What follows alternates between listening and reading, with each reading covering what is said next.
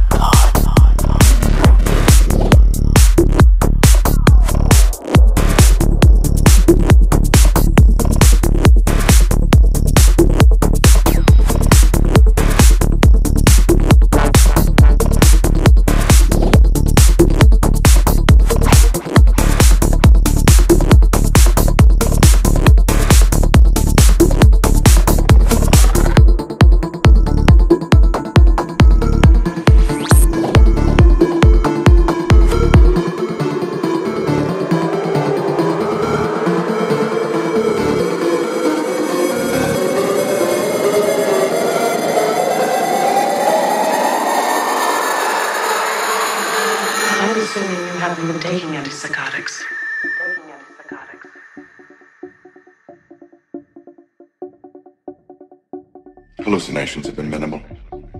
There's uh, an awareness. I can cope. It's progressed. Faster than expected.